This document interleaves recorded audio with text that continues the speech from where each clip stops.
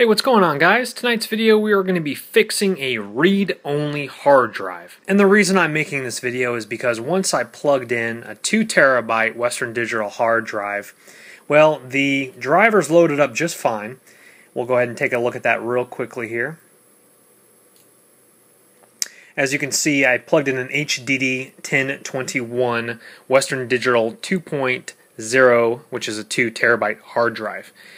Now, let me show you exactly what's transpiring here. So all the drivers downloaded just fine, etc. Well, the only problem here is I come over here to my little Windows symbol. Let's go ahead and take a look real quick. We'll come up here to computer and it does not show up. Now this is a different one and I have another video how to really get pretty detailed into a primary partition if you're hard drive is not showing up. So if this video does not help you, you might want to take a look at that other video I have for another hard drive that was not showing up. So real quickly here, let me just get to the steps here. Try to make this video short. So we're going to come down here to our symbol one more time. We're going to hit that. Now we're going to go to Control Panel. Click that. Alright, let's go ahead and get that nice and big so we can see what's going on. Now, what you want to do is make your way over to Administrative Tools. Okay, so it's going to be in your computer settings, control panel, administrative tools. Let's click that. Okay, now we come to this area right here. We want to go ahead and go to computer management. Computer management. We're going to go ahead and actually double click that. Sorry. All right. Now, once we've double clicked that and we're in computer management, you want to make your way over to underneath storage is going to be disk management. If you don't see disk management, click this little arrow right here underneath storage and you're going to come to disk management. Double click that and it'll take a few seconds to load here while we're connecting to the virtual disk, loading disk, and read only now. It says read only now. This is really confusing. So we're going to have to go a step further. We're going to kind of have to hack into our Windows system here. And so what we're going to do, come down here to the Windows button again. You're going to hit this right here.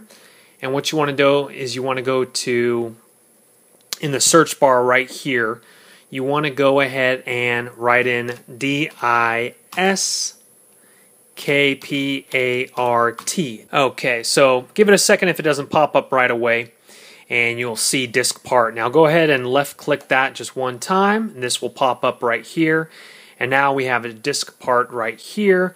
What we want to do is we want to type in list list space disk list space disk, hit enter on your keyboard, and now these are going to show up right here.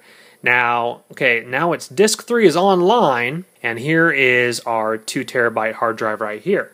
Okay, so now what we want to do, now that we see this here, okay, and again, keep your computer management page open so you know exactly which one it is. Again, disk 3, and I know that that's the biggest hard drive I have, so that is the 2 terabyte one. Okay, now we're going to go ahead and choose this one here. Okay guys, so now what we want to do here is we want to go ahead and type out select S-E-L-E-C-T disk 3. Okay, now hit enter. Alright guys, now after we push enter we see that disk 3 is now the selected disk. So right now down here after this disk part here, let's go ahead and type in attributes A T T R I B U T E S space disk K space clear C L E A R and read only one word R E A D O N L Y. So attributes disk clear readonly. All right, now we hit enter. Disk attributes cleared successfully. All right, guys. Now let's go ahead and put exit E-X-I-T and hit enter. All right, so we just exited out of that. Okay, guys, now after we did that, we came back here. We exited out of disk part and look at now our disk 3 is now back online. It does not say read only. It still says unallocated, but let's go ahead and see if we can fix that. And But first we're going to check to see if it's still here. Nope, not there yet. Okay guys, so now what we're going to do here is we're going to hover right over this. We're going to right click that. And we're going to create new simple volume right here. We're going to come over here to wizard. Again, we're going to start this up. Keep F there. Alright, we'll keep all this the same. And we'll go ahead and finish up. Alrighty guys, yes.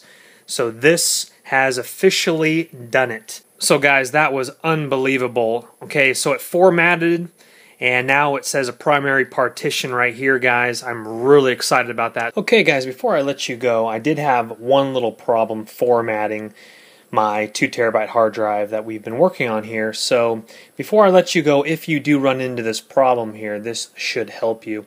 Now as we see up here, okay, we're online, it's healthy, it's primary partition, it's our drive F that we've been working on exactly. Okay, so what we want to do up here, this is only if you're having trouble formatting. I'm trying to format it. So you right click it and if you try to format it, it'll come up, you know, formatting not successful. Okay guys, so I'm having trouble formatting like I've just discussed here. So what we're going to do here, instead of the file system NTFS, we're going to go ahead and drop down and do exFAT. Okay, and then we're going to try to start the, um, and just make sure that you're willing to say OK to this because it will erase everything on the hard drive. So let's hit OK. And we'll just wait a little while till we find out what's going on with this format Okay, wonderful guys. It formatted. So again, if you are having trouble formatting in NF, NTFS, okay, for instance, look at my, okay, my F drive is now exFAT, and look at my my book is FAT32. So again, guys, mess around with your settings if you're having format issue errors come up. Again, with mine, it's going to be different than yours. So if you're having formatting issues, guys, mess around with file system that they give you and go ahead and whatever one they choose for allocation unit size, keep that one and hit OK and we're good to go. I'm going to go ahead and hit format OK. Alrighty, looking good. I'm going to close out of uh, I'm going to close out of this because it's already formatted. Now what we're going to do is we're going to do the final check, guys. All right, let's go ahead and keep that open for right now. Let's come down here to the start button here, come up here to computer, and beautiful, guys. Here it is right here. Wonderful. All right, guys. Anyway, have a wonderful, wonderful evening. And don't forget, if you're into it, please subscribe. I really appreciate that. Take care. Bye-bye.